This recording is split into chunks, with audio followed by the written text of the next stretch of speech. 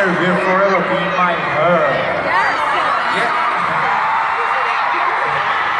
That's true. Let's say how